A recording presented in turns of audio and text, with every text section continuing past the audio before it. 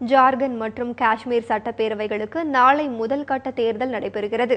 அதற்கான பிரச்சாரம் நேற்று மாலையுடன் ஓய்வடைந்தது.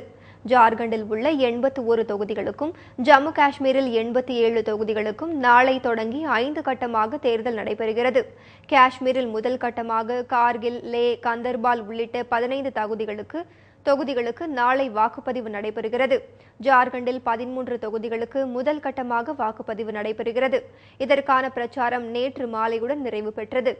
இயற்கை வளங்கள் சுரங்கங்கள் அதிகமுள்ள ஜார்க்கண்டில் தேர்தலை புறக்கணிக்க நக்சல்கள் மிரட்டல் விடுத்துள்ளதால் பலத்த பாதுகாப்பு ஏற்பாடுகள் செய்யப்பட்டுள்ளன.